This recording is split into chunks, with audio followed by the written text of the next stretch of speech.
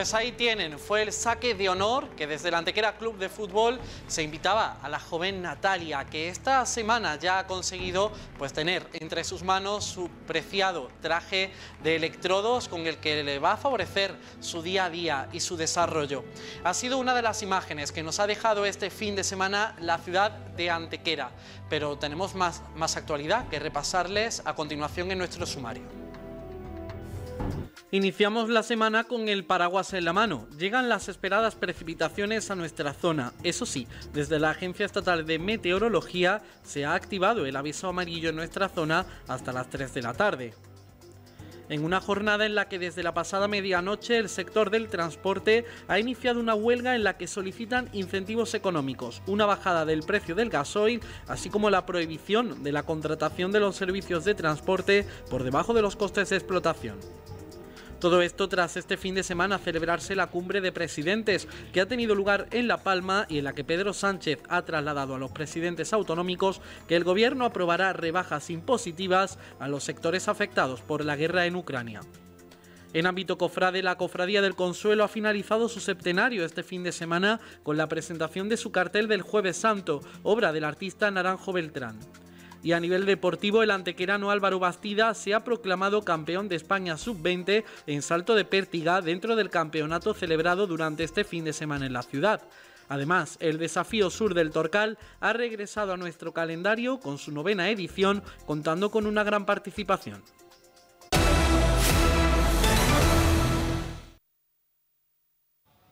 La esperada lluvia ha hecho su aparición esta medianoche en nuestra comarca y es que la borrasca Celia también ha llegado ya hasta Antequera, donde hasta este mediodía hemos permanecido en alerta amarilla. Precisamente el alcalde de Antequera, Manolo Barón, ha anunciado hace unas horas en su cuenta de Twitter que la lluvia registrada en el nacimiento de la villa entre el pasado viernes y esta madrugada ha sido de 70 litros por metro cuadrado, siendo 15 el viernes y 55 esta noche. Sin embargo, aunque las precipitaciones están siendo abundantes y nos van a seguir acompañando durante los próximos días, ha sido en nuestra capital y la Costa del Sol donde han llegado con más fuerza, encontrándose en aviso rojo durante esta mañana. Nos da más información nuestro compañero Paco Conejo.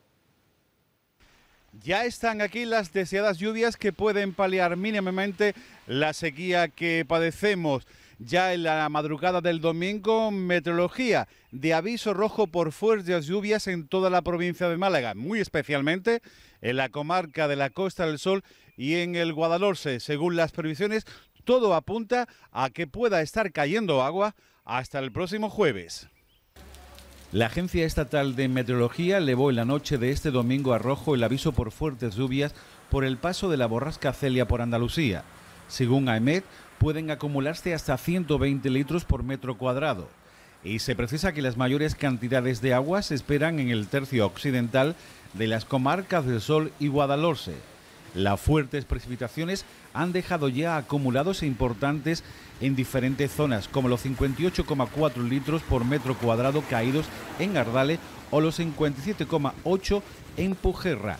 Estas precipitaciones pueden suponer un pequeño alivio para los embalses de la provincia de Málaga y sobre todo para el campo, que absorberá como una esponja esta lluvia que puede estar cayendo hasta el próximo jueves y cómo actuamos ante la llegada de fuertes lluvias. Pues le vamos a dar algunos consejos a continuación. Ante los avisos de fuertes lluvias, el 112 ha recomendado extremar la precaución y adoptar algunas pautas de autoprotección que contribuyen a prevenir los riesgos y garantizar la seguridad de todos. Les, les resumimos estas recomendaciones. Por un lado, evitar los desplazamientos por carretera y en caso de ser imprescindible tienen que informarse antes de salir del estado de las carreteras. Seguir las indicaciones de los paneles informativos y de los agentes. Y la, y la segunda recomendación sería que al volante pues es importante mantener la precaución disminuyendo la velocidad y aumentando la distancia de seguridad. Nunca cruzar por zonas inundadas o con balsas de agua y si esto sucede, probar ligeras pulsaciones en los frenos para comprobar que funcionan. ¿Y qué pasa si nos sorprende una fuerte crecida de agua dentro del vehículo? En caso de que sobrepase el eje de la rueda, hay que abandonarlo. Nunca aparcar cerca de cauces de río, aunque estén secos, ya que la crecida puede ser súbita, y en el campo y con tormenta, los árboles y piedras aisladas o solitarias atraen los rayos, por lo que se deberán evitar, al igual que los objetos metálicos.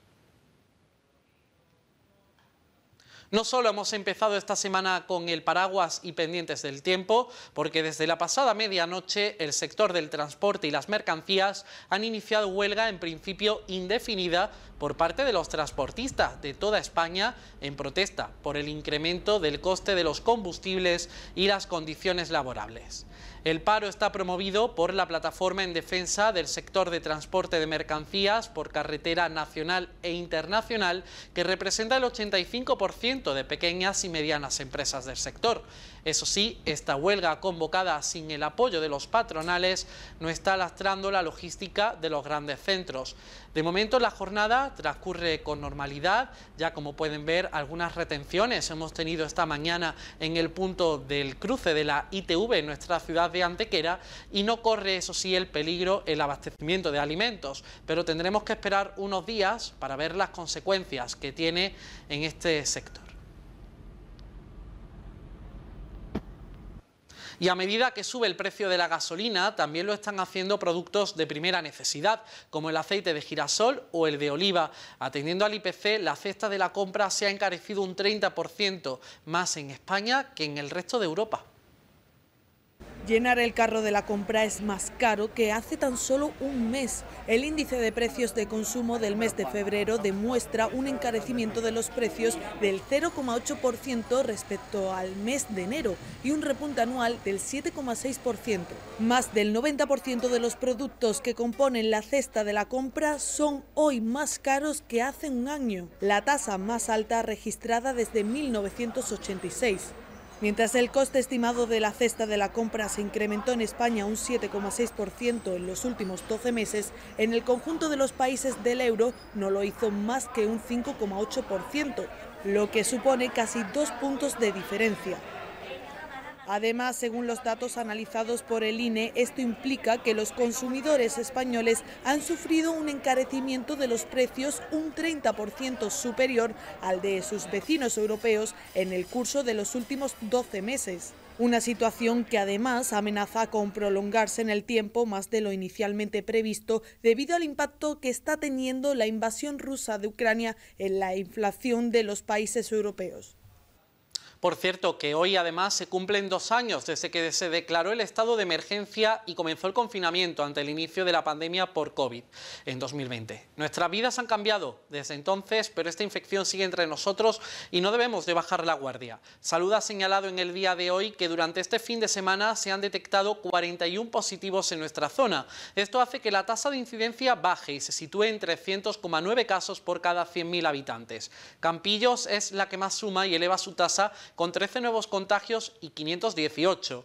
El resto han sido 8 en Villanueva del Trabuco y Antequera, 3 en Archidona, 2 en Sierra de Yeguas, así como uno en Alameda, Cuevas de San Marcos, Humilladero, Teba, Valle de Abdalajís, Villanueva de la Concepción y Villanueva de Tapia. A nivel sanitario, hoy se conmemora el Día Mundial de la Endometriosis, una enfermedad que padecen un importante porcentaje de mujeres en todo el mundo y que altera su calidad de vida. Málaga ha querido sumarse a esta jornada con distintas actividades organizadas por la Asociación de Afectadas de Endometriosis Crónica. Este año, por primera vez, el Ayuntamiento de Málaga se iluminará de amarillo el próximo día 14 con motivo del Día Mundial de la Endometriosis, fecha en la que se celebra con el objetivo de dar a conocer y visibilizar, como indican desde la asociación, una enfermedad únicamente femenina que padece en torno a un 10% de las mujeres en el mundo. El ayuntamiento tiene previsto poner en marcha una campaña de difusión para dar visibilidad a esta enfermedad. La realidad de las enfermas con endometriosis es que apenas existen especialistas y consultas especializadas de endometriosis por lo que tienen que recorrer cientos de kilómetros para ser tratadas por los pocos especialistas que existen en España. Hago un inciso para decir que en Málaga sí los tenemos. Y nos vamos a La Palma, porque allí se ha celebrado la conferencia de presidentes en la que Sánchez y los varones autonómicos han llegado a acuerdos sobre la subida en los precios de la energía y el protocolo de actuación ante la invasión en Ucrania. Tras siete horas de reunión, la conferencia de presidentes que se celebró en la isla de La Palma logró poner de acuerdo a los presidentes autonómicos y al gobierno central sobre la declaración para hacer frente a la invasión de Rusia. Un texto que se basa en cuatro puntos concretos, la respuesta a la guerra en Ucrania, la acogida de refugiados, la gestión de los fondos europeos y el compromiso a seguir tomando medidas para paliar los efectos provocados por esta guerra. No obstante, sobre las medidas a seguir hubo discrepancias y propuestas. Por eso mismo, el acuerdo fue finalmente suscrito bajo mínimos. Entre las medidas para paliar los efectos de la guerra, se ha exigido al Gobierno la de asumir el compromiso explícito en el documento para desarrollar e intensificar las rebajas fiscales para hacer frente así al incremento de los precios de la energía. En este sentido, el Gobierno insiste en que ya se han tomado medidas para rebajar los precios de la luz, como la rebaja del IVA al 10% o la suspensión del impuesto de la producción eléctrica. Sin embargo, ha manifestado su compromiso con este asunto que se abordará en una conferencia sectorial. Según el Gobierno, este es el primer paso para la creación de un plan nacional para dar respuesta a las consecuencias de la guerra de Ucrania en España. Y volvemos a Antequera porque ya ha finalizado la primera fase de instalación de alumbrado público del Camino de los Molinos. Se trata de una importante apuesta del Ayuntamiento por la seguridad y conexión con el polígono industrial, iluminando los 300 metros lineales más cercanos al Puente de los Remedios. Para ello se han invertido un total de 10.000 euros. De alumbrado público, el inicio de, este camino en una primera fase, con un presupuesto total de 10.000 euros desde el puente de los remedios hacia el polígono y eh, con un presupuesto eh, de 10.000 euros la colocación de cinco báculos, cinco báculos de alumbrado público con tecnología LEDs, lógicamente, y que, y que van a dotar de más seguridad a esta zona, ¿no? fundamentalmente por, porque se completa desde esta zona hasta la barriada de la peseta, pues el alumbrado público. Nuestra intención, ¿qué es? Nuestra intención es poco a poco, fase a fase, ir completando todo el alumbrado público de este camino hacia, eh, hacia la entrada trasera del polígono industrial de Antequera. Con cinco columnas troncocónicas de unos nueve metros de altura y con, eh, como bien ha dicho anteriormente el alcalde, con, luminaria y con eh, tecnología LED de 90 vatios, que como, vemos da una iluminación homogénea, perfecta, y también en este precio que, anteriormente ha dicho el alcalde, pues hay que incluir unas modificaciones de, la, de, obra civil, eh, el cableado, todo el cableado, y lo que son las arquetas correspondientes para alojar la, tierra que cada columna debe de tener por seguridad de todos los, los viandantes.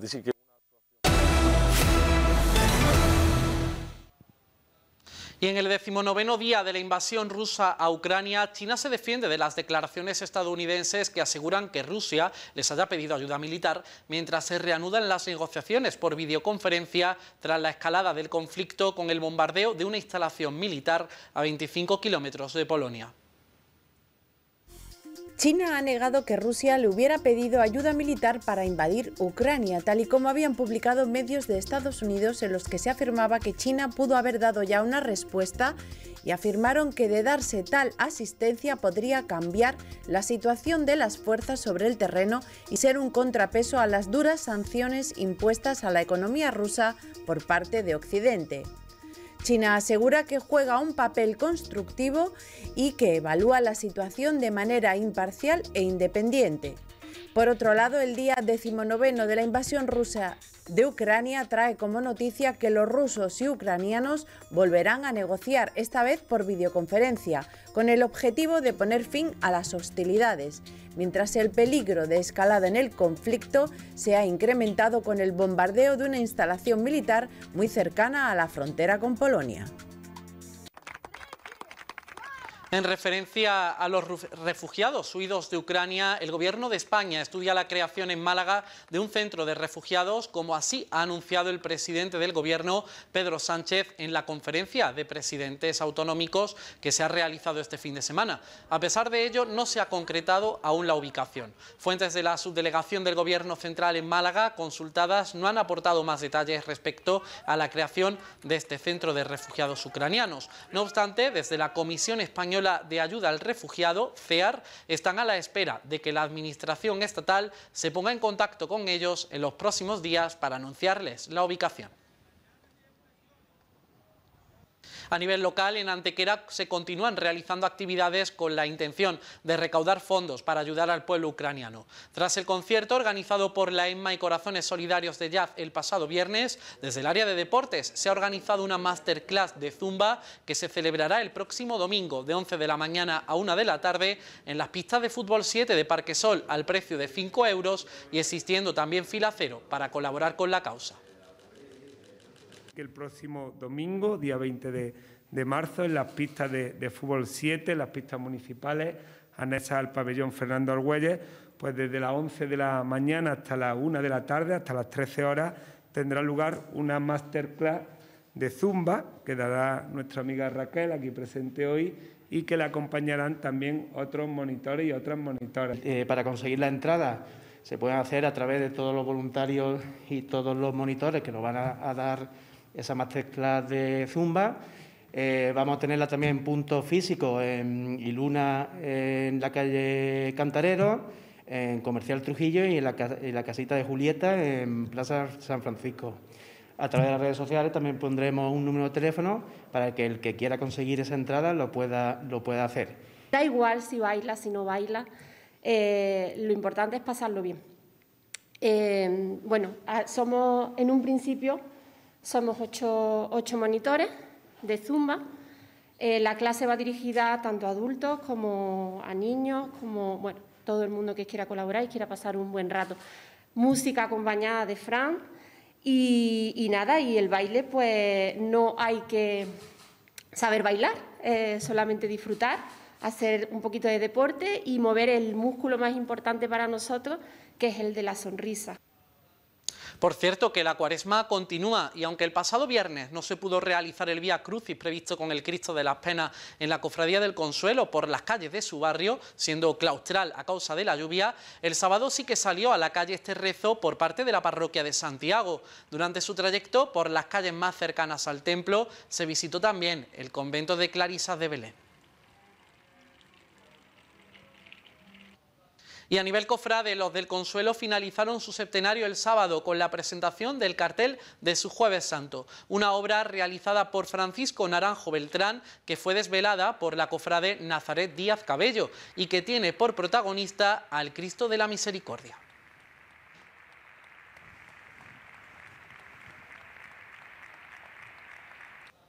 Aunque nos encontramos ya en cuaresma, aún suenan ecos del carnaval en nuestra comarca. Precisamente en Humilladero se ha celebrado este fin de semana esta fiesta, que por cierto está declarada de interés turístico provincial. Las fiestas daban comienzo el pasado viernes con el pregón pronunciado por la delegada de turismo de la Junta en Málaga, Nuria Rodríguez. Pero el carnaval de Humilladero es especial. El pueblo entero volcáis e implicáis al máximo. ¿Cuántas horas de trabajo? De reuniones, compartiendo muchas horas de risa, de cansancio. Y también lo vamos a decir, ¿por qué no? Alguna contrarriña, porque el roce, ya sabemos, ¿verdad? Pero luego merece la, la pena esa satisfacción de ver esa creatividad, esa ilusión, esa felicidad, esa fantasía, esa unión que tenéis todos los humilladerenses, esos nervios de que todo salga bien. Gracias, mil veces gracias por vuestro esfuerzo en seguir manteniendo viva esa llama de nuestras tradiciones, de lo auténtico, de esforzaros en que se transmitan a las siguientes generaciones. No sé si alguna vez habéis pensado en lo que estáis consiguiendo y lo que ayudáis y aportáis a nuestros pequeños, inculcándoles que se disfrancen, a reírse de ellos mismos, porque es importantísimo, a ser felices, a que compartan, a ampliar la imaginación, bendita la imaginación que tenéis, a esa creatividad,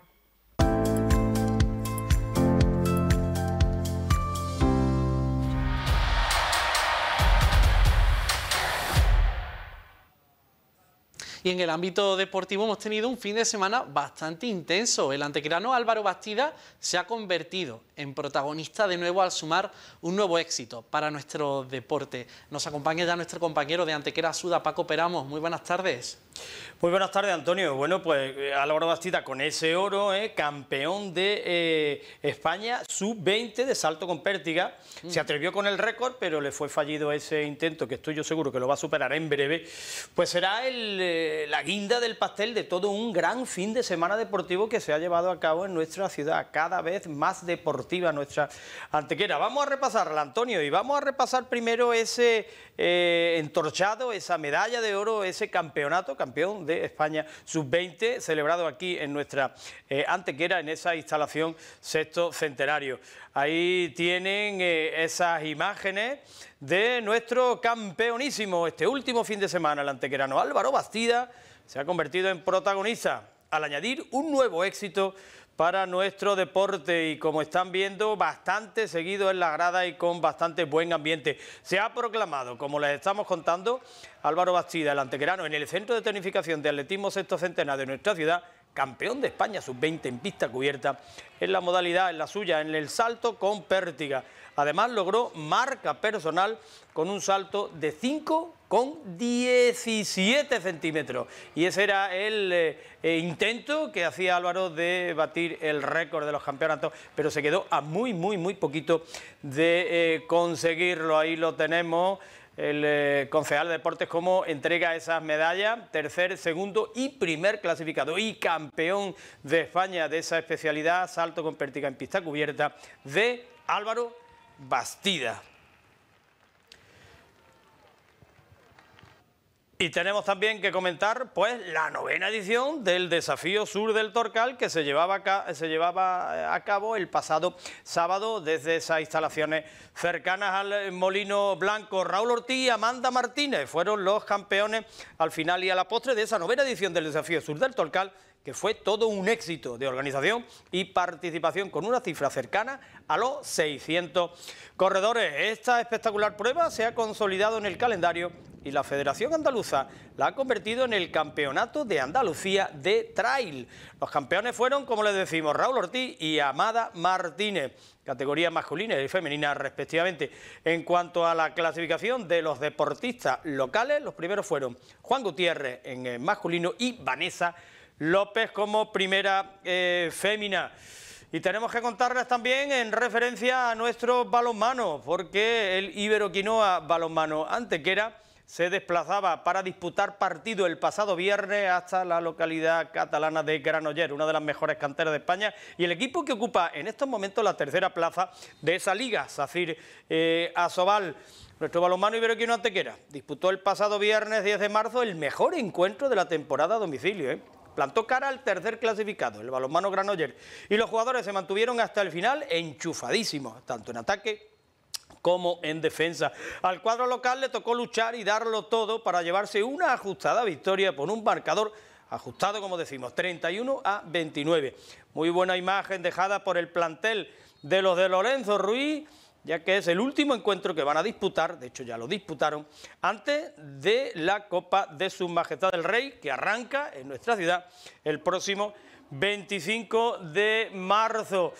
Y los que sumaron también, pero un puntito, estuvieron a punto de traerse los tres para nuestra Antequera, fueron los de eh, Club Deportivo Uma Antequera, que afrontó un derby andaluz en tierra jienense que siempre es especial, pero también muy complicado, y más aún con el desgaste de una semana llena de emociones, con la histórica clasificación a la Final Four de la Copa del Rey. Mengíbar, con necesidad de puntuar, se puso varias veces por delante en el marcador y el conjunto antequerano supo reaccionar a tiempo para conseguir un valioso empate, incluso como decimos tuvo opciones de haber ganado el choque. David Velasco destacó con un doblete y habló al final del partido al igual que el entrenador a los que escuchamos, José Antonio Borrego Tete. Escuchamos a David Lillo y a Tete. Es un empate que sirve porque era una pista difícil. Sabemos que ellos se juegan muchas cosas, mantenerse en la categoría y han estado todo el rato por encima del marcador nuestro. Y ha sido un partido muy complicado, eh, muy luchado y un puntito que nos llevamos para casa para seguir remontando la clasificación. Todos juntos remando a una podemos sacar todo tipo de partidos y juntando codo con codo y cabeza con cabeza podemos sacar todos los resultados y nos hemos antepuesto a, todo el rato que estaban ellos por encima en el marcador y hemos conseguido el empate al final. Es un partido muy disputado donde hemos conseguido pues, no perder, que ya es lo importante y la verdad que, ha sido un partido muy, muy, muy igualado, con mucha tensión, lógico por lo que nos jugamos ambos, ¿no? ellos por, salir y eludir los puestos de descenso, nosotros porque queremos seguir ahí arriba y al final pues un empate que creo que ha sido justo. ¿no? Dos acciones muy afortunadas de ellos, en segunda jugada, lo habíamos hablado, y en una salida de presión y en un rechace pues se han puesto con una ventaja de 4-2. ¿no? Pero bueno, el equipo ha reaccionado bien porque cuando peor estaban las cosas pues hemos sabido empatar y, bueno, y después del empate, aunque he dicho que el resultado ha sido justo, sí que es cierto que el que ha tenido ocasiones para hacer el 4-5 hemos sido nosotros. Hemos robado dos de 5 para 4, más una que hemos hecho con el 5 para 4 que salió por muy poco en una de, de Ferni. Pero bueno, yo creo que en el cómputo general, por lo que hemos hecho uno y otro, el empate justo. Y nuestro Antequera Club de Fútbol cerró un gran fin de semana de deporte en la ciudad con un auténtico partidazo en el Estadio Municipal Nuevo El Maulí ante el líder del grupo cuarto de segunda división de la Real Federación Española de Fútbol, el Córdoba Club de Fútbol. El encuentro estuvo muy competido desde sus primeros compases y en la segunda mitad los locales dispusieron de ocasiones claras en un tiro desde la frontal de Alex Escardo y otro de Sergio García, que se marchó muy cerca del eh, palo de la portería del Córdoba. En el tiempo extra y cuando el empate sin gol era lo más justo, Omar anotó el gol de la victoria para el cuadro cordobés. El técnico Nacho Pérez analizó lo ocurrido en este envite tras el partido. Bueno, sabíamos que era un rival muy complicado, que no le iba a poner las cosas fáciles, que ellos iban a tener sus ocasiones, que nosotros íbamos a tener las nuestras y, bueno, y teníamos la esperanza de, de llevarnos el partido o al menos pues haber conseguido un punto, ¿no? Y la lástima que en ese último momento pues han tenido esa ocasión de gol y, bueno, como tú dices, pues nos quedaba un poquito con mal sabor de boca. Nuestra filosofía, teníamos que ir arriba, no somos un equipo de estar replegado atrás y verla venir, si nos metemos atrás porque el rival nos meta, no porque nosotros nos metamos. Y, eso hemos intentado, seguir con nuestra línea, nuestra dinámica, en la presión alta, e, intentar robar en campo contrario y, bueno, y luego cuando el otro equipo, por la calidad que tiene, te mete en tu campo, pues bueno, bien los contragolpes e intentar eh, enlazar alguna contra para ver si teníamos alguna ocasión de gol. Nos ha faltado esa paciencia en esos últimos metros, o ese último tiro, o ese último pase en la frontal del área, para poder finalizar con un poquito más de calma. Eso es lo que nos, ha faltado, que, bueno, nos está faltando también en los últimos partidos, no, solamente hoy, nos está costando el hacer gol, tenemos que llegar mucho y, y bueno, eso es un aspecto que tendremos que corregir en un futuro. Y todo esto lo analizaremos con mayor profundidad y con bastantes más cositas esta noche en nuestro programa de Antequera Sudá en 101 Televisión a partir de las 9 y media.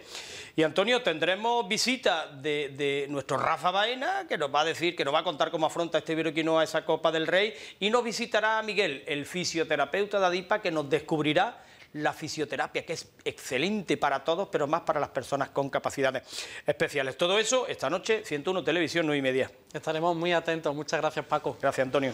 Al igual que vamos a estar muy atentos del tiempo, ya saben que han vuelto las precipitaciones. Esta es la previsión meteorológica para las próximas horas.